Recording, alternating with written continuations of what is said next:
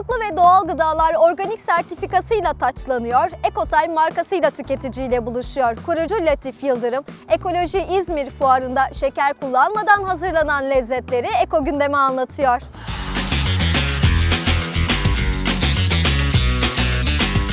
Dünyada gıda güvenliğinde yükselen değer olan organik ürünler koruyucu sağlık uygulamaları arasında kabul ediliyor. Organik gıdaların üretimi ve tüketimi konusunda bilinç her geçen gün artıyor. Bu durum organik pazar sayısına da organik mağaza sayısına da yansıyor. Türkiye'de bu değişime 2008 yılından bu yana şahitlik eden ama en önemlisi sertifikalı ürünleriyle gelişime katkı da sağlayan Mert Organik Ecotime markasıyla lezzeti sunuyor. 2008 yılında başladık üretime.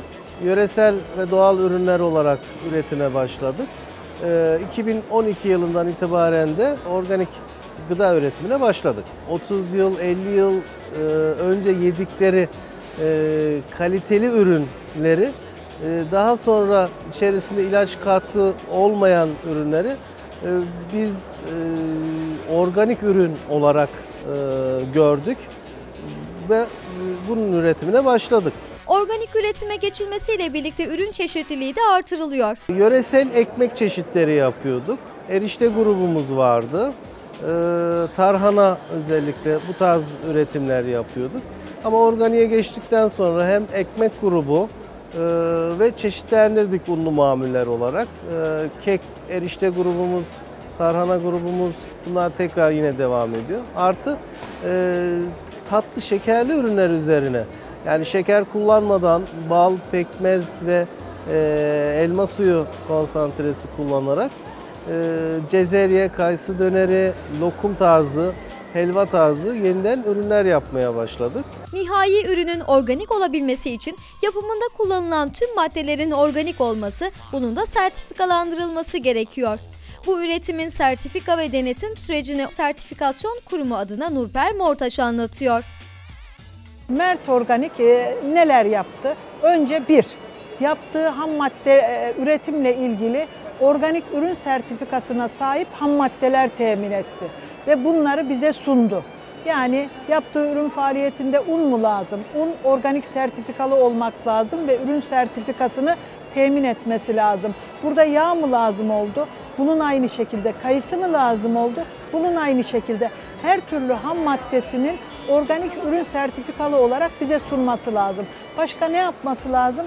Yaptığı üretim faaliyetine, ürüne yönelik bir e, ürünün reçetesinin olması lazım. Denetimler ve raporlar sonucunda uygunluk halinde organik sertifikası düzenleniyor. Müteşebbis sertifikası düzenlendikten sonra üretici etiket bilgilerini hazırlar.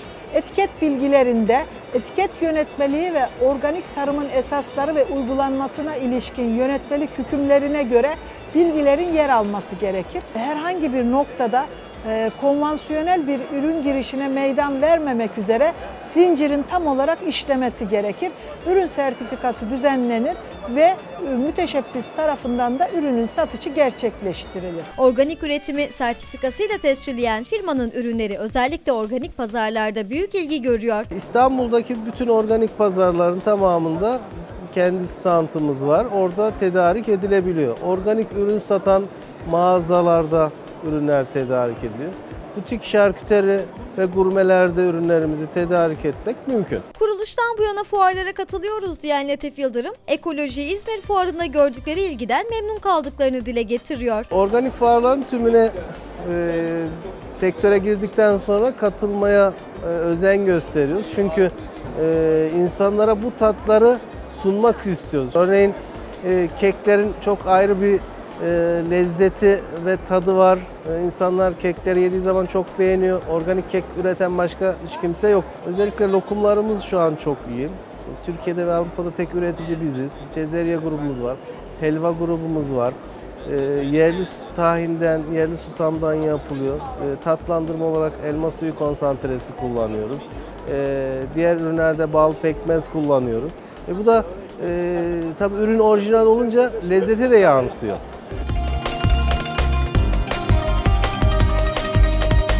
60'ın üzerinde ürün çeşidine sahip olan firmanın en yeni ürünü çölyak hastaları için geliştirilen glutensiz ekmek olacak. Türkiye'de ilk defa glutensiz organik ekmek ve ekmek grubu unlu mamuller üretimi için şu an ARGE çalışmaları yapıyoruz. Türkiye'de 2 milyon çölyak hastası var.